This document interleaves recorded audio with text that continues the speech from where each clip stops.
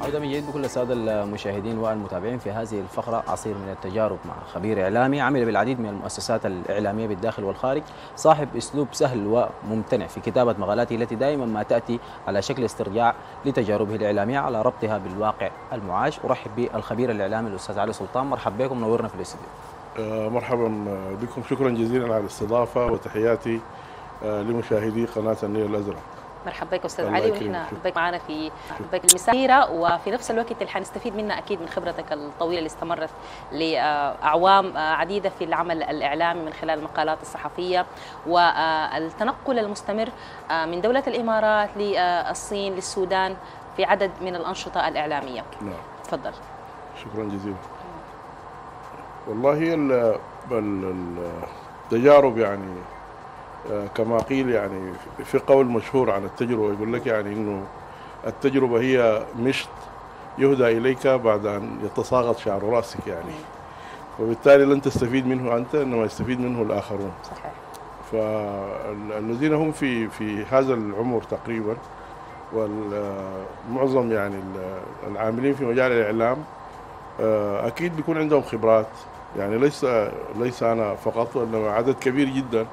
من العاملين في مجال الإعلام في كل المهن الإعلامية المختلفة أكيد عندهم تجارب وخبرات و يعني يستحق إنه أو يعني يا ريت إنه الناس يستفيدوا منها بشكل أو بآخر من خلال ال ال فتح مجالات للتدريب للتأهيل ال- ال- الكادر. القادمين الجدد أيوة. لعالم ال- العمل الإعلامي مع أنه رغم الآن أنه الفجوة بقت كبيرة جدا بين إعلامنا الذي عهدناه والإعلام الآن يعني ال- المقارنة بقت صعبة جدا والتطور التكنولوجي الحاصل آه، خلى في فجوات كثيرة جدا بين الأجيال ال- ال- اللاحقة والأجيال الحالية الآن. يعني يا أستاذ علي إنجاز التعبير ممكن نقول إنه حاليا الصحفي بقى مسلح بالمعرفة من خلال الشبكة العنكبوتية. وفقد كثير من ال- الأشياء اللي كان بيحملها الصحفي في السابق. هو الصحفي زمان كان بيجتهد في, في لاجل المعلومة فهو لا يجد مصدر أنا الآن إذا عندي أي مشكلة بتصل ب... بكتب في- في جوجل بجد إجابة شافية جدا لكل الموضوع أنا ببحث عنه يعني الان حتى الطلبه الباحثين أو غيرهم الآن لا. لا يجتهدوا كثير رغم إنه يعني هذا. هذه ال- ال- الجزئية نفسها خطرة يعني لأنه أحيانا لا تجد المعلومة الصحيحة مم. فالآن ال- ال- الزملاء الصحفيين ال- حتى اللي اللي قبلنا كانوا إمكاناتهم المعرفية واسعة جدا من خلال القراءة الاطلاع ال- البحث. نحن كنا كمذيعين في الإذاعة السودانية أو ما بعدها حتى في الإمارات. بيكون في إشكاليات في في أسماء نطق المدن الدول أسماء السفراء الرؤساء. فكان بتستعين بشخص تضرب تلفون لزميلك تتصل بصديق. يعني أنا أذكر كنت في إذاعة الإمارات العربية المتحدة من أم القويم في فترة من الفترات. كانت حرب لبنان مستعرة جدا في جنوب لبنان وكنت أعاني آه، فيما يبدو من نطق بعض الأسماء آه، في جنوب لبنان. ففي مرة من المرات اتصلت بي سيدة لبنانية والمهم يعني تواصلت معي وقالت لي يا أخي يعني أنا بحب الاستماع إلى إذاعتكم وإلى صوتك وكذا لكن يا أخي عندك أخطاء في نطقي. فمشكورة ساعدتني كثير جدا أو ساعدتنا نحن كمجموعة في أن نتعرف على أسماء بعض المناطق لأنه من من المخجل جدا أن تذكر اسم قرية أو مدينة. نحن هنا في السودان عندنا إشكالية لو في قرية في أقصى الجزيرة أو في مناطق في أسماء صعبة جدا أحيانا المذيعين لا ينطقوها صحيحة. صحيح. ففيها إشكالية وفيها حرج بالغ يعني. أنا أذكر كنت يعني آه، في الإذاعة في عندما اشتغلنا في الإذاعة في أول بدايتنا في العمل الإذاعي ذكرت اسم آه، دكتور المشهور اسمه آه، أبو فقلت أبو. فرحمه الله الأستاذ صالحين يعني آه، استوقفني ووبخني توبيخ شديد جدا وكاد إنه يخصم من راتبي يعني. قال لي كيف أنت جاي من وين؟ تقول آه، أبو يعني. فيعني حاجات بسيطة دقيقة جدا كانت لا لا تفوت يعني. فكان في جودة وفي اتقان الآن نحن للأسف يعني نتعامل مع المسائل بشكل ولا ولا عدم يهمك يعني. في بعض عدم الأحيان. مهنية وعدم عدم اهتمام حتى. من أساسيات التعلم أستاذ علي آه، رحابة الصدر وتقبل النقد. صحيح. آه، لأنه نحن ما كاملين بال- بالقدر الكبير. صحيح، نعم. فعشان تقدر تتطور في حياتك لابد آه، تتقبل آه، مسائل وجهات النظر من الآخرين نعم وتصلح من ذاتك انت إلى الآن عالقة في ذهنك بعض الأخطاء اللي قمت باقترافها نعم، نعم. سابقا وقمت بتصحيحها نعم. الآن تتوجه تتوفر آه، وسائل النشر وتتوفر وسائل العمل الإعلامي لدى الكثيرين لكن يفتقرون للمهنية ورحابة الصدر لأنه ما كل الناس بتقبل موضوع النقد بتفترض آه، افتراضات أخرى أنه أنت عايز تقلل من من قيمتي عايز تهز ثقتي في نفسي صحيح. فبالتالي يصعب التعلم لهكذا شخصيات. نعم. هو الحل فيما يبدو في التدريب. طبعا رحابة الصدر ده أمر آخر قد لا يتسع لكل الناس يكون عنده رحيبي الصدر يعني.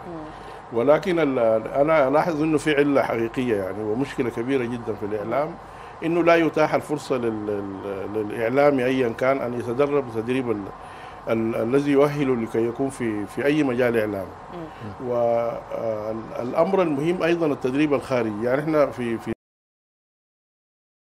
ما قبلنا كان في بعثات منتظمة جدا بتمشي إلى القاهرة. وتتلقى وتتدرب في القاهرة بل وتشارك في في في صوت العرب وفي في القنوات أو في الإذاعات المصرية. زميلنا محمد الفاتح السموال آه، قدم نشرات في صوت العرب وهو متدرب يعني عندما كان آه، واحد من أبناء الدفعة يعني. وغيره مثلا الأستاذ عمر الجزيري غيره من كبار المذيعين. في بداية حياتهم عندما سافروا إلى مصر وفي ممن سافر إلى لندن وكذا كان التدريب يتيح فرص آه، عظيمة جدا للشخص الإعلامي في بداية حياته وهو فيما بعد يصبح ذلك الشخص المتدرب نعم. نحن اشتغلنا في الإذاعة آه، تدربنا 11 مذيع ومذيعة في أكبر دفعة جات الإذاعة السودانية عام 75 وكان بيننا آه، البروف عمر عوض إبراهيم عوض دكتور عبد العظيم عوض إكرام الصادق وعدد من المذيعين فكان يعني تدربنا ستة شهور كاملة وكنا نتمنى بس نجيب في الميكروفون نقول هنا مدرمان آه، وكنا نشتاق إلى ذلك لكن لدقة التدريب وال وال النظام الصارم اللي كان موجود كانوا حريصين جدا إنه ما يتقدم شخص يقول هنا مدرمان إلا يكون مؤهل لذلك العمل أنا خلي لا ممكن شخص بكرة يكون مش يقدم يقول هنا مدرمان أو هنا البيضة أو هنا أي مكان يعني. نعم. أستاذ علي كل هذه التجارب والمواقف وكل هذه السنين في الإعلام لو جينا نتكلم عن الاختلافات الجوهرية بين الإعلام سابقا وحاليا أهم الاختلافات الجوهرية اللي أنت ممكن تكون ملاحظه حاليا في الإعلام؟ هو الاعلام ايا كان يعني حتى لو لو مرت عليه الآن سنوات طويلة ال ال الإعلام ده في النهاية هو مايكروفون إذا كان في التلفزيون أو في الإذاعة. إذا كان الإذاعة الإعلام المسموع أو المشاهد هو يحتاج إلى إلى صوت يعني الحاجة الأساسية الصوت بعد ذاك بتبقى عليك حاجات أخرى اللي هي كيف تقرأ وكيف تجيد القراءة. ومش القراءة؟ يعني الآن في في أخطاء في في تدريب في المذيعين نفسهم عندما يقروا النشرات الوقفات في أشياء كثيرة فيها. نحن بنلاحظها كخبرات يعني أو كذا بنتضايق منها جدا. فعشان كده بقول لك إن المعول الأساسي على أنه آه، ضرورة التدريب. الاختلافات الأخرى اللي هي نحن بنعاني منها الآن هو آه، الآن في كثير من من زملائنا لا يتعاملون مع الأجهزة الحديثة يعني. الآن أنا بكتب مثلا الآن يعني أخيرا نجحت في انه أكتب مقال عندي مقال يومي في مقال إلكتروني؟ نعم. نعم. نجحت في أنك تكتب مقال آه، إلكتروني. نعم. بكتب عن طريق الموبايل مثلا. أيوة. برسل المقال بتاعي اليومي للقوات المسلحة أو لأخبار اليوم أو كده بالشكل المتعارف عليه الآن عبر الواتساب عبر أيوة. أي واحد من التطبيقات الحديثة. فقبلها آه، كنا نعاني في استخدام الكمبيوتر نفسه. يعني أنا لما كنت في جريدة الاتحاد مثلا في التسعينات طلبوا مننا أي شخص لا يجيد التعامل مع الكمبيوتر بعد شهرين حيقولوا باي باي يعني يترك العمل مباشرة. فاجتهدنا اجتهاد عظيم جدا فإنه نتعامل مع مع الكمبيوتر يعني. وكان الوقت ذاك بالنسبة لنا حاجة مدهشة يعني. وأن نرسل المواد نفسها من مكتب دبي مثلا إلى الرئاسة في أبو ظبي وأنت في الوقت ده لازم تكون خالي أخطاء تكون مرتب نفسك عارف تتعامل مع مع كل الوسائل الموجودة. فالآن الأمر اختلف يعني. الآن نحن بنتكلم عن ثقافة الموبايل في في في, في نقل العمل الإذاعي التلفزيوني. نعم. أنت الآن بتبع في تقرير ممكن يقدم لك من أي جهة. أظن عندكم في الأخبار تقارير قدمت من مناطق الفيضانات عبر صحيح. عبر الموبايل. تقنيات أيوه. تقنيات. فالمساله يعني الآن يعني بقت بالنسبة للجيل الجديد هي ايزي جدا. إحنا الأطفال الآن بيتعاملوا مع بيتعاملوا مع الهواتف الذكية مع الهواتف بشكل ممتاز يعني. لكن لابد من من اعود ثاني إلى التدريب يعني. أيوة. أقول إنه لابد إنه الناس يدربوا. ولازم ي- ويدرب على في, في الأساس على الأساسيات نفسها اللي بتخليك أنت آه، يعني شخص اذاعي أو أو أو صحفي متمكن يعني قادر على أنه تقدم ال- ال- العمل بتاعك بال- بالجودة المطلوبة يعني. كيف تقيم ما ينشر الآن على الساحة الإعلامية أو على الوسائط المختلفة؟ آه، يعني أنت ذكرت أستاذ علي إنه ينقص الإعلاميين التدريب أو بعض الإعلاميين ينقصون التهري... ال- التأهيل والتدريب والتعامل بمهنية. مراعاة الأخطاء وأيضا آه، تغيير من من شخصيتك الإعلامية. نعم. كيف تقيم ما يدور الآن على الوسائل الإسفيرية والاستفادة من التقنيات والمواكبة لكن بشكل خاطئ؟ هو الحقيقة إنه الآن يعني نحن آه، مع مع مع الهجمة التكنولوجية الحاصلة الآن والتقدم ال- ال- ال- المفرط في مجال ال- الإنترنت ومجال التطبيقات الحديثة الآن في في حاجات بدات تختفي اللي هي الصحافة الورقية. الصحافة الورقية الآن يعني أنت لو تلاحظ حتى الآن في كثير من الصحف السودانية بدأت تختفي من الوجود كصحافة ورقية. الآن كل الصحف بدأت تتجه إلى الصحافه الالكترونيه الآن ال social media نفسها التطبيقات الموجودة الآن جعلت من كل إنسان هو صحفي وكاتب وصاحب تقارير. فمثلا إذا أنا ال- الآن شاهدت حريق في منطقة معينة وأنا كهاوي يعني ما ما ما صحفي بصور وبكتب حريق في كذا. بكون أوصلت معلومة إلى حد ما إلى جهة ما بدون تفاصيل بدون أي المام لكن الناس الآن كلهم صاروا يقو- يقومون بهذه بهذه ال- المهنة. فبالتالي كثروا عدد ال- ال- المحررين عدد الصحفيين حتى من غير آه، يعني تقنين اليوم تقنين أيوة. فبالتالي آه، الأمر ده أيضا أدى إلى كثره الشائعات كثره ال- ال- التخبط في المجالات الإعلامية أنت الآن أنا ال- ال- الآن ما هو ما هي الجهة التي أستقي منها المعلومة صحيح. الحقيقية أنا الآن كشخص ما بطمئن إلى أي حاجة إلا أشاهدها في التلفزيون عدم مثلاً. مصداقية أو في نعم. أو في الإذاعة أو أسمع من الإذاعة. لكن في ال- في الوسائط بكون حذر جدا. خاصة إذا الآن مع مع مع ال- التوجهات الحاصلة لتزييف الواقع من خلال أخبار زائفة من خلال فبركات لأصوات لصور. الآن إحنا بنشاهد يعني أشياء يعني آه، ما فيها التزام أخلاقي ما فيها حيادية يعني حاجة يعني حقيقة مزعجة جدا و و- والآن محاولة لتشويش ال- الرأي العام لكسب آه، بعض القضايا بعض يعني المسألة الآن بقت حقيقة مش طبيعية يعني. أستاذ علي يعني تابعنا برضه يعني من خلال الكتابات الصحفية في الصحف الإلكترونية بيكون فيها جرأة أكثر من الصحف الورقية يعني فيعني دار اعرف مدى الاختلاف بين الصحافة الإلكترونية والصحافة الورقية وهل الصحافة الإلكترونية حتأثر سلبا أو ايجابا على الصحافة الورقية؟ والله أنا أنا بالنسبة لي بصراحة يعني كجيل يعني يحب الورق ويتلمس ال- الورق والكتاب وكذا. أنا إلى الآن لا أعرف التعامل مع الصحافة الإلكترونية صراحة. ولا أستطيع يعني بقرأ فيها بعض الحاجات لكن لا أستطيع اتعامل معها بشكل أساسي. أنا يعني هوايتي ومتعتي إنه أقرأ لي جريدة مثلا. و- وإلى الآن رغم إنه يعني المسألة بقت إنه تشتري جريدة ده بقى أمر نادر جدا لكن أفعل أحيانا يعني.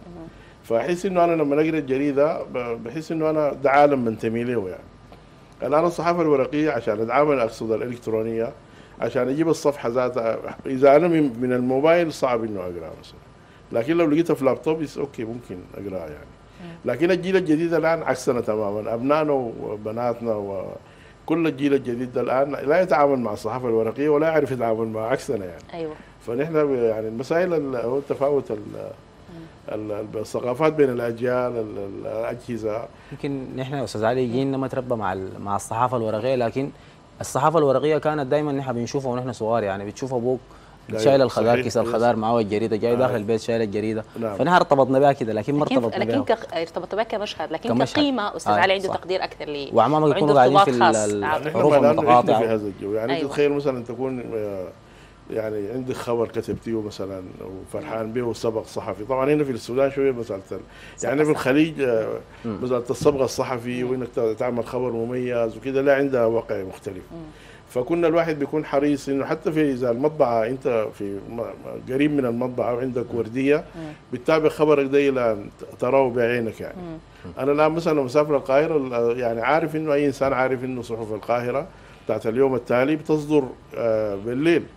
يعني مثلا اليوم الصحافة بعد ساعتين حيكون الأهرام والجمهورية واليوم السابع كلهم موجودين في باعتبار إنها دي صحافة الثلاث.